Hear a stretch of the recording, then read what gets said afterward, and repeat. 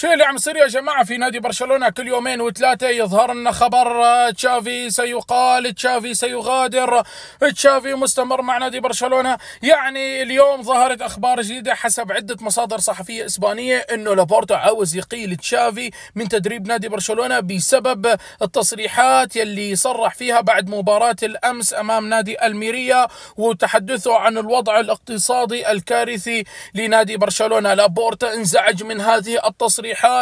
وقال خلاص هون راح تبدأ نهاية حكاية تشافي مع نادي برشلونة ولازم نقيل المدرب ونشوف مدرب جديد. يعني بالله عليكم خلال شهرين فقط تقريبا ظهرت ثلاث أربع أخبار عن تشافي بس ومستقبله مع النادي. يعني شفنا آه، من حوالي شهرين إنه تشافي صرح وقال قدام الإعلام وقدام الجميع إنه رسميا راح أغادر نادي برشلونة بنهاية الموسم.